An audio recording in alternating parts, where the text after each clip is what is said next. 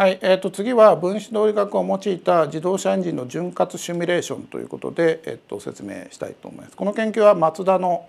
との共同研究で、えー、とこれも34年4年ぐらい続いている共同研究です。えー、と分子動力学法というふうにタイトルをしましたが、えー、と先日の打ち合わせで有限要素法も、えー、と希望があったんで、えー、とこちらのどちらかをやってもらうということになると。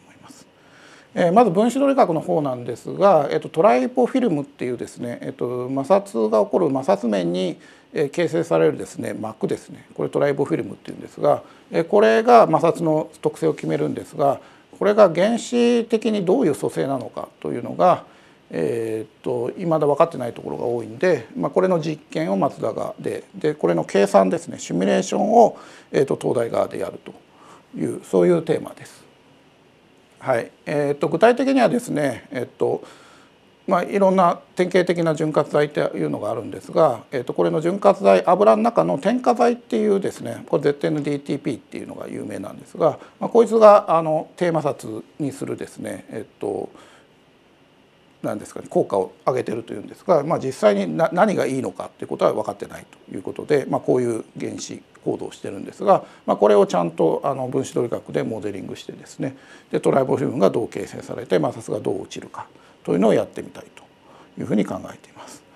でこのコードは、えっと、ランプスっていうですね C++ で書かれた分子動力学のオープンソフトウェアを使いこなすというのと、えっと、この分子動力学ポテンシャルっていうこの原子がの間の力をですね、えー、と我々の方で開発してるんですがこれは Python で書かれた、えー、と我々のソフトウェアを使うんで、まあ、このあのコーディングですねの能力が必要になりますんでコーディングしたい人は是非このテーマを選んでください。また、えっと、有限要素法の解析もちょっと今年もやることになって、えっと、これは、えっと、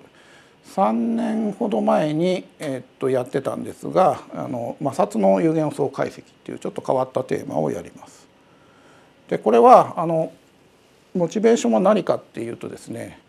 例えばこういうノコギリ状の形状ですねこっちに摩擦すると摩擦抵抗がちっちゃくてこっちに摩擦すると摩擦抵抗が大きいというふうに言われてるんですが、まあ、どうどういう表面形状ですねテキスチャリングってこういうのを言うんですがにしたら摩擦係数が